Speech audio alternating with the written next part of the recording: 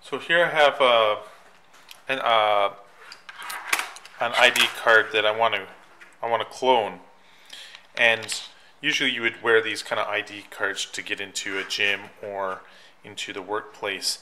And with a smartphone, depending on your smartphone, um, you you want to go into settings. Here I have a Android phone here, and to scroll down and see if you have the the setting called NFC. You can see that this phone has NFC. So if your phone has NFC, it can basically clone uh, bus cards and things like that. So I just turn it on. And setting up, it is actually quite easy. All you have to do is then place your phone on top of that and it should pop up. It says NFC tag detected. It's NFC tag detected. I click on that and then it will give you the different apps that work with NFC and here I have my wallet so I can click on wallet and then it's access card so I'm gonna go in access card and then I can go on it's a door and basically you can see here it, it is scanning my card and it's uh, putting it into the phone. It's basically making a clone of that card um, there. And then I can give it a, a name. I can call it uh, like uh, like door or what what have you. And then it will go into uh, my IC wallet cards. And then I can use it to open doors and you can do the same thing with bus passes and and different things like that. Here's the all the uh, different ID cards that I have cloned and you can change this uh, the picture on it and things like that um, for for your phone and then when you want to use it you just hit the, the use button there. And then it's it's it's basically uh, if it gets close to an NFC detector it will send out the two keys to unlock the door. With my phone it's actually quite nice that I can just double click and it, and it automatically opens up my um, ICF cards here. And I have a whole bunch of cards here you can add as many as you want. I have my bus card. You can put your bank card and the different doors uh, there uh, to open.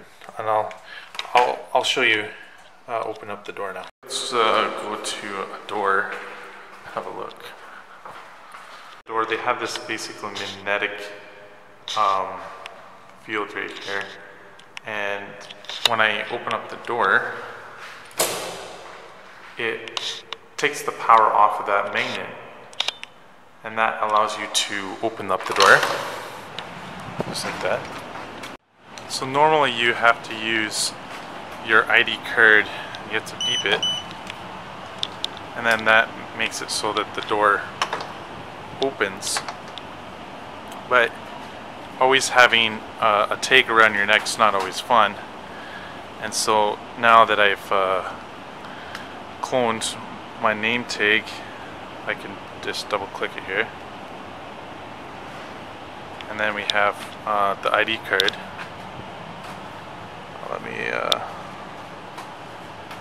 let me switch to the one that I already made here okay? And it opened up there. And I have it. So you can see that it just uses uh, electricity to. If you want to know a little bit more details, you can download this app here. I have it. It's uh, probably on Google Play. It's a uh, MI Fair, and it's basically a card reader. And basically, you can actually read the tag. So this is useful. Um, that you can just put it put it over and then start reading and it will actually show you the, bi uh, the, the binary or the hexadecimal values because there's actually a security key that are in these cards.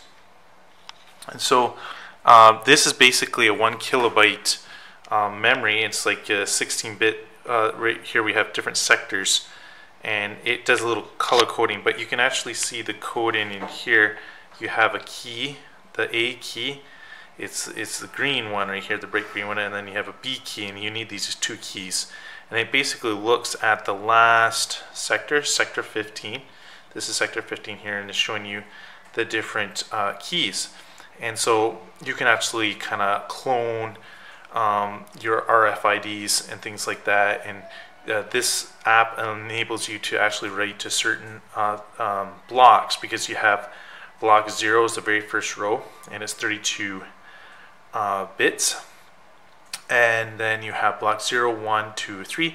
The very first one, block uh, sector 0, you cannot change because it has a unique ID uh, there. Uh, and, and when you beep your card, it, it actually reads that ID, so it kind of knows who you are, like what, what person is going on. So you have a unique identification number and it has the access keys and, and the, in there. So I was just playing around and, and figuring about that. But uh, if you just want to copy, it'll co copy all this data identically.